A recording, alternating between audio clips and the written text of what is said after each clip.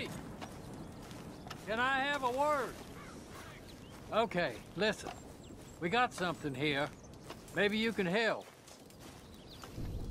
We're making moonshine, okay? But our last batch was terrible. Set your teeth on edge. With the right ingredients, maybe. Listen, you fetch us some, maybe there's something in it for you.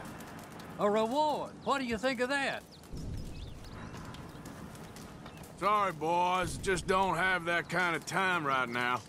Fine then. Go away before I rethink myself and do something about you.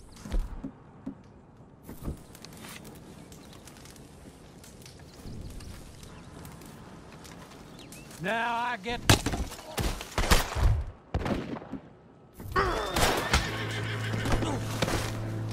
The blazes do you think you're doing? Get the damn ropes off me, you goddamn it!